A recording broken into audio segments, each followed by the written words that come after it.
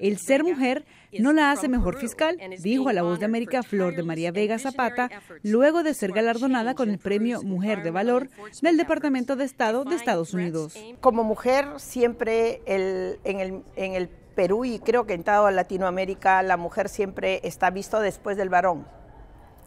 Yo creo que todos tenemos la misma oportunidad de serlos si es un buen fiscal, si es una buena fiscal, todos están en el mismo nivel de serlo.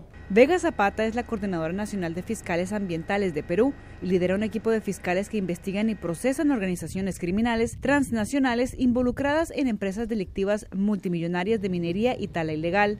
La fiscal expresó sentirse muy emocionada y sorprendida por esta distinción que afirmó no se hace en Perú. Tenemos 152 fiscales a nivel nacional que dependen de mi coordinación.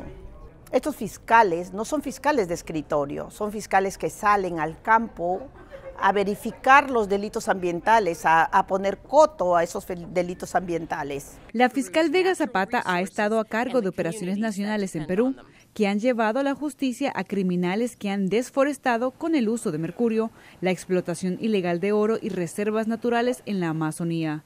Ella destaca que aunque exista desigualdad de género en su país, eso ella nunca lo ha experimentado.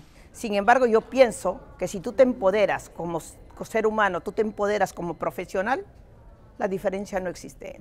En el evento, la primera dama Melania Trump destacó que este único reconocimiento se otorga a mujeres excepcionales de distintas partes del mundo, cuya labor se caracteriza por el liderazgo, valentía, justicia y defensa de los derechos humanos que hacen a menudo con un gran riesgo y sacrificio personal.